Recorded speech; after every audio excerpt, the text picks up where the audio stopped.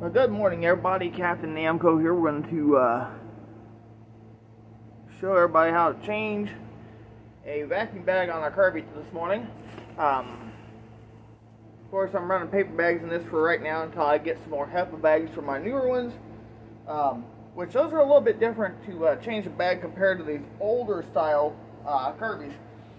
So, what you're going to need to do first, obviously, is to unzip your uh, outer bag.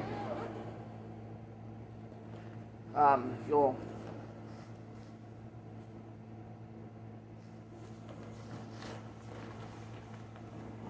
not super full, but it's getting there, so I'm just going to go ahead and change it. It looks a bit wore out anyway. So in order to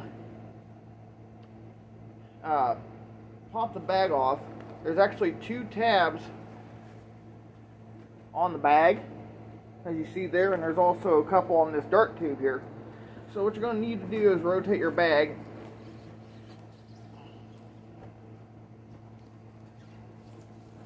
like that just to get the bag to pop off.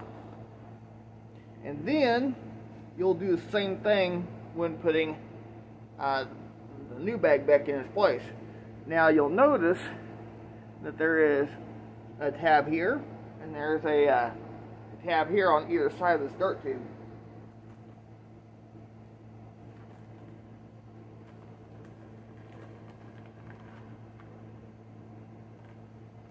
See, this one here is a different bag compared to the one that was in it. Um, so again, what you're going to need to do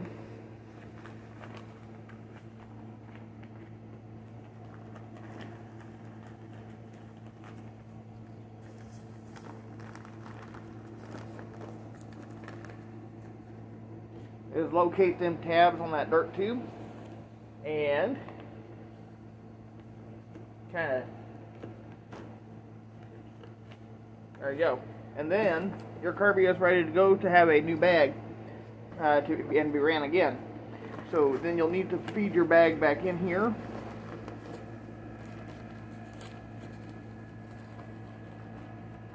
Make sure it's out of the way from your zipper of course.